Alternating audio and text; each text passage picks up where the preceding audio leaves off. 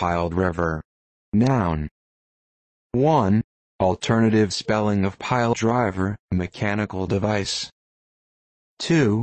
Professional wrestling, a move in which the wrestler applies a front waist lock, then drives the opponent's head into the mat by falling to his knees or backside. 3. Soccer, a very hard shot,